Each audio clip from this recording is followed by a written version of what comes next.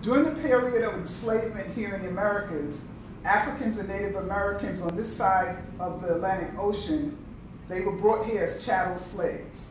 Dehumanization and cruel treatment of human beings will prompt ways of escape.